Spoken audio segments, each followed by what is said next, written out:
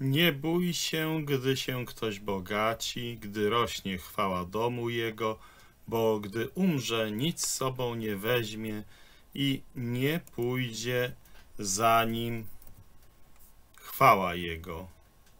Psalm 49, wersety od 17 do 18. Skarb w niebie. John D. Rockefeller był jednym z najbogatszych ludzi na świecie.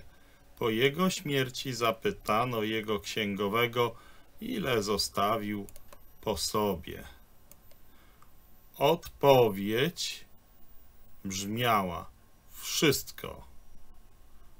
Tak, odpowiedział: Wszystko po sobie zostawił. To smutne, ale prawdziwe.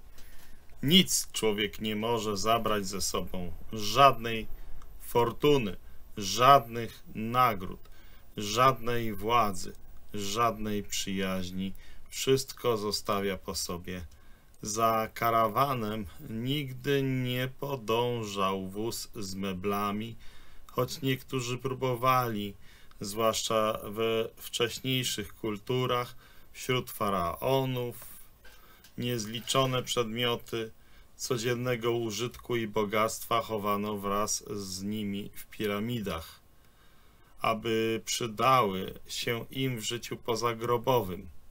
Chiński cesarz Qin Shi Huangdi, żyjący w latach 259 do 210 przed naszą erą, kazał zbudować pod ziemią rządzony przez siebie świat.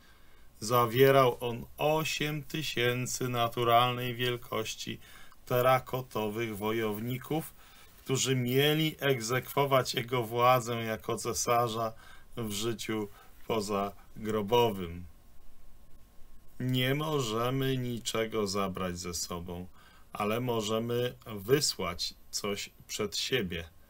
Nic, co sami możemy osiągnąć, lecz tylko coś, co jedynie Bóg może nam dać.